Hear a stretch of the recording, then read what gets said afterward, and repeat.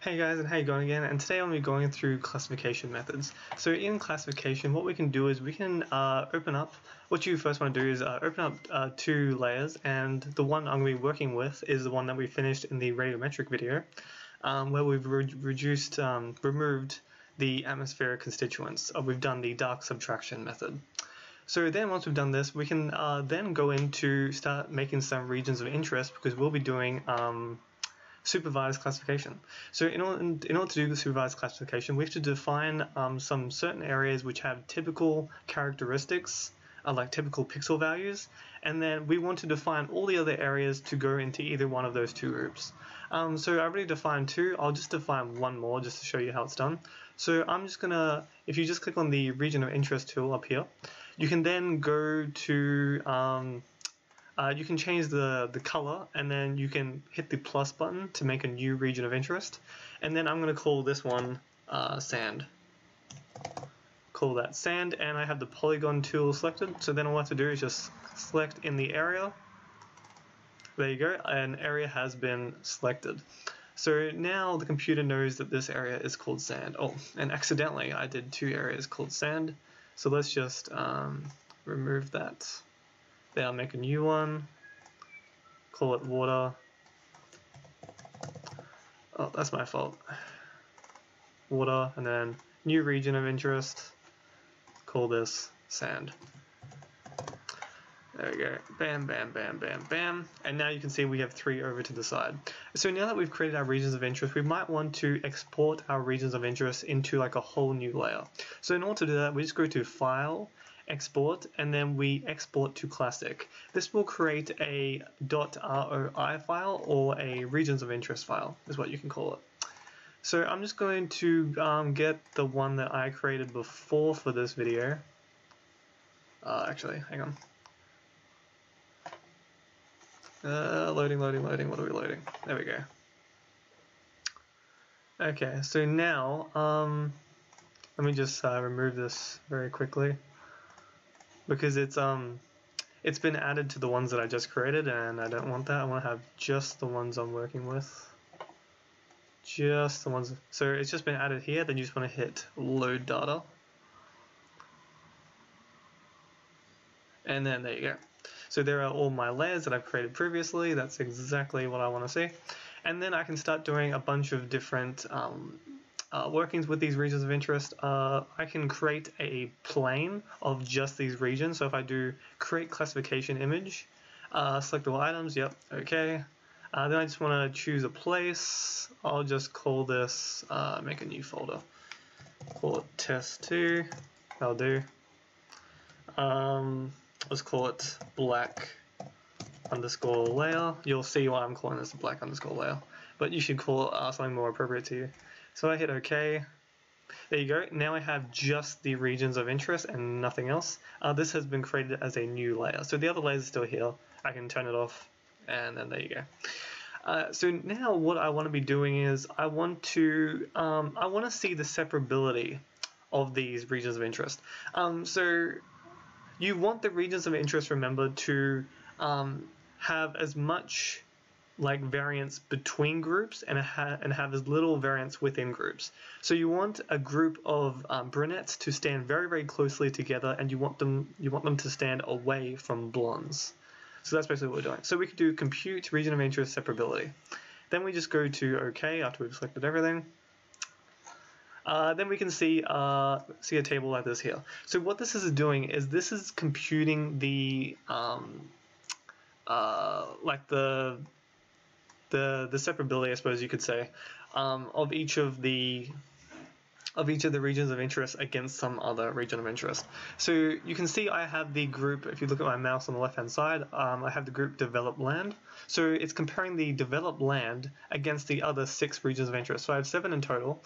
Um, so I'm comparing developed against closed and open forest, against water body, water body, bare dry ground, bare dry ground against wetland, sand, and bare wet ground. And so developed is being compared against these six.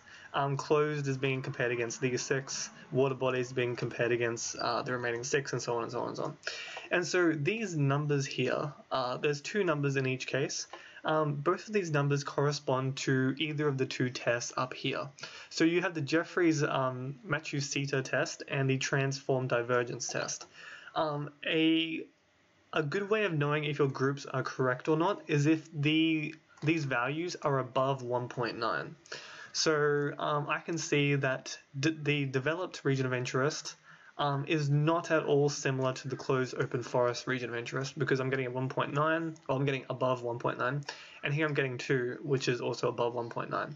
And I can see that for each of the values, um, for each of the tests, through all my uh, different things. So that's all really good. Now what we can also do is um, we can, uh, what do I want to show you next? I think I will, hang on. I think I know it was probably pretty important that I should show. Um, if I just go to the regions of interest here, and then I go right click, statistics for all ROIs, this will create a graph. Uh, there it is. Um, this shows you uh, where the separability is for each band between between all of these. And um, I know I don't have it, but preferably your standard deviation should be like below three. Um, because if you think of like a bell curve, um, let me just bring it up actually.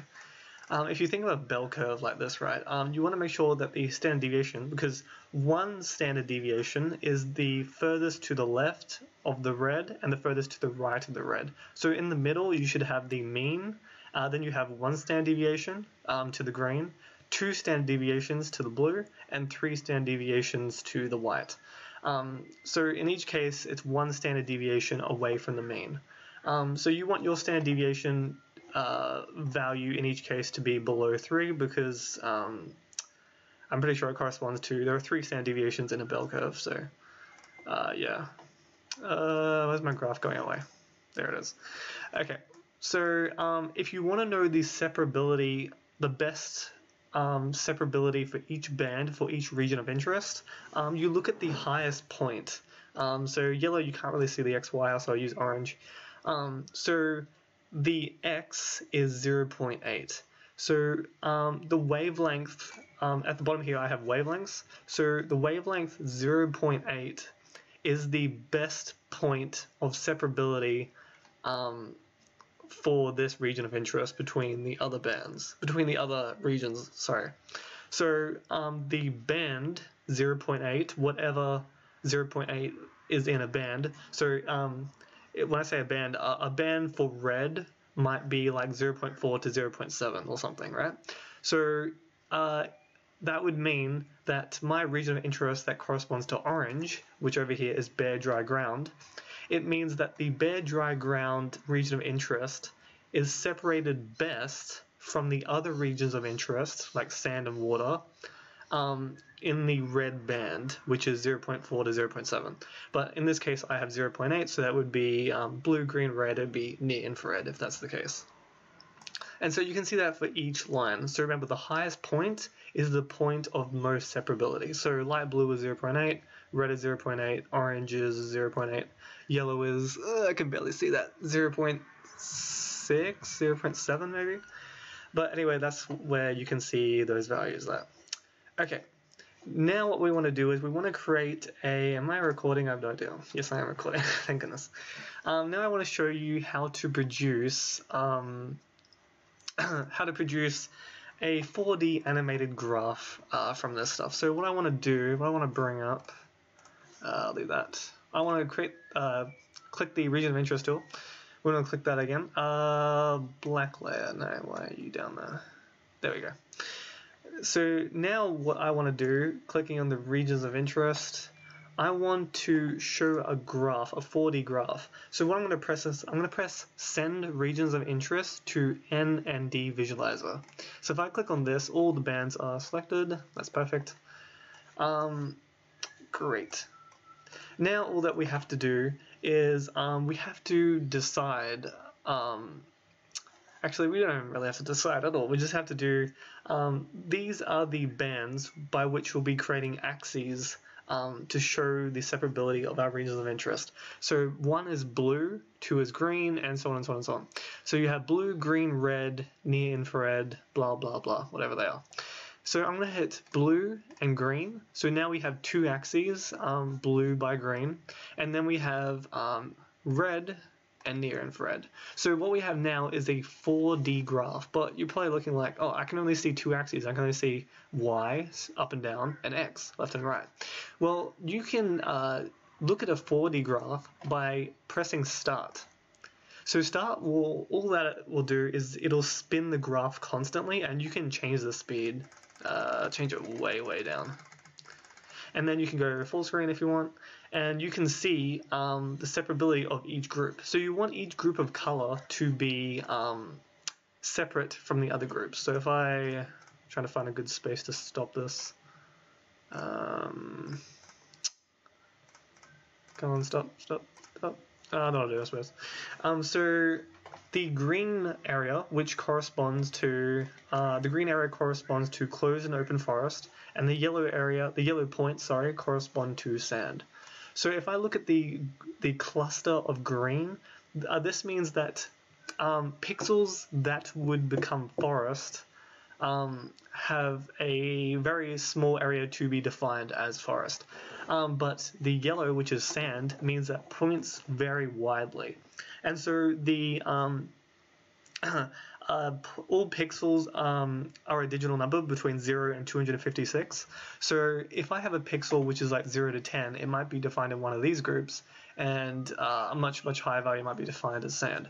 Um, and so what you're what you're really what you're trying to do here is you're trying to see the separability. So before I talked about being above 1.9, uh, that's telling you the the actual values, and this is showing you like um, the separability of the groups. This is a visual representation of that. So that's all pretty cool and nice. And um, now I want to do one final thing with you guys.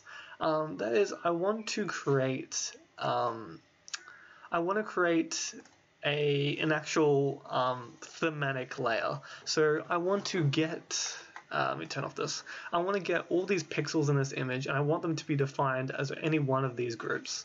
So that's what we can do by going to classification and then supervise classification and then we can choose one of three methods. And if you want to see how these methods are defined, you just want to go up to help uh, contents, and then once you get to the page, you just want to type in at the top right search bar whatever you're looking at. So uh, if I want to look at all these definitions and stuff, I will press, I'll go to help, contents, F1. Um, so, or help, or, or you can just do press the F1 key. Um, then I would type in like supervised classification in the search bar, and then I can see a definition of whatever I'm working with. So there are three here to begin with. So this is the, I'll just show you two. Um, or I might show you three, uh, depending on what I want to do.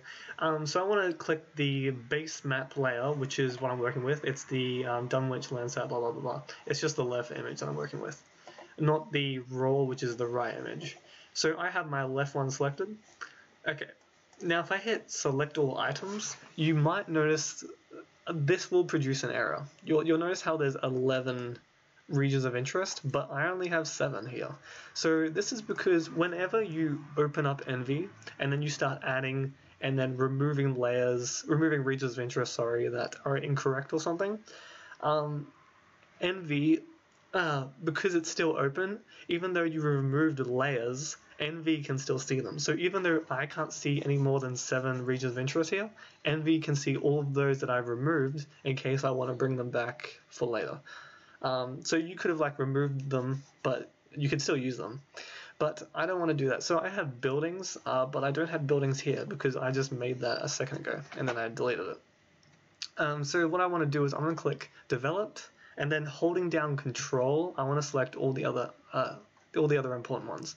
Um, so assuming I have two sand here, uh, this would be a bit of a problem. I don't know which is which, so I'm just gonna have to like guess, I suppose. Uh, actually, I'll do without. I'll do without. I'll do closed and open forest. Uh, water body. Is it just one water body? Yes. There's bare dry ground, wetland vegetation. Oh, there's actually three sands. That's a problem. Oh well. Um, so I have six at least. That's fine. That's fine, I suppose. Uh, actually, sand. This this is all in the same group, so maybe this is right. Let's just see. so then I can create um, two outputs. So first is the rule, output rule. So the rule um, layer is just a, a layer to hold data. Don't worry about it. Um, so you could make it, you can do it in memory if you want. I'm just gonna actually make it. Oh, not that. Ugh, that's wrong. um, so I want to call this uh, call this parallel. Make sure that you call your file something important. Parallel piped. Parallel piped rule. And then I just want to create this one. I'll just call it parallel piped. Parallel piped. Excellent. Okay, so then um, then you can see the maximum standard deviation from the mean. So uh, this all this information will make sense if you go into help and search up these different classification methods. Then all of this will make sense as to what these values mean here. Okay. so um, uh, yeah, I think I might just do one instead of doing all three actually. Um, but the three main ones you should look at are the parallel piped, the maximum likelihood classification, and the minimum distance classification. So the minimum distance one is um, the minimum distance is essentially just uh, whichever pixel, uh, uh, whichever group a pixel is closest to, it'll be defined as that. Uh, I'm pretty sure that's what it is anyway. And then you also have the parallel piped, which I believe is um, uh, if a pixel is within a standard deviation of a mean of a group, um, it'll be defined as that. So um, if you think of every group of um, pixels, right, every group of pixels um, has a different digital number um, within a certain area. If you remember that 4D graph I created. So if you have uh, like a group of pixels and you maybe have like um, like 1, 2, 3, 4, 5, 6, 7, 8, 9, 10, then the mean would probably be 5 in the center. So if a so in the parallel piped, um, you remember to just do help contents search, making sure that I'm right, don't take my word for it. Um, I'm pretty sure that it is um, if a pixel is def uh, is closest to the mean of that group, so 5, um, then that pixel will take the uh, will take the um, it'll be classified as whatever that is. So if sand has digital numbers 1 to 10, um, then that pixel, if it has a value say 6, which is closest which is closer to 5 than, than water, where its mean may be like 40, then that pixel will be defined as sand. Um, so what we're doing, uh, turn that off. Okay, so what we're doing is we're trying to define similar areas as sand. So if you look at this base image, these white areas, I want all these white areas to be defined as sand. So you can see that kind of happening, but some of the land, some of the pixels are being misclassified as developed. Um, so depending on the classification method that you choose, um, pixels will be defined into different groups or different bins, I suppose you could call them, differently.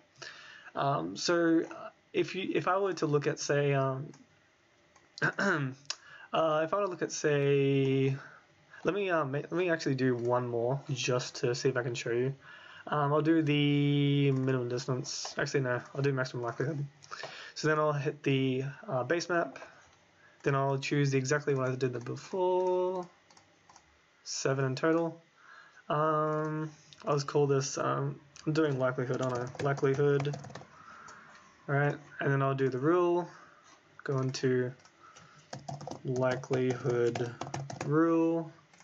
Okay, um, data scale factor of 1. Make sure that you look up so you can understand what this means. Okay. So there you go. Um, so just like that, I have created two different classification methods.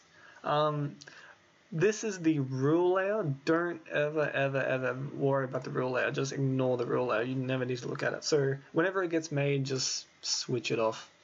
Okay, so this is the parallel pipe that you see currently, and this is the likelihood. So if I look at just sand, just the yellow areas, you can see between the two different classification methods, um, each one defines pixels as sand differently. Okay, so I hope I've gotten everything. I hope I've told you everything. I hope you guys have learned something from these videos. And um, if you guys need any help, uh, just go straight over to help contents. Anyway, um, have a great time, guys, and I hope you have learned something.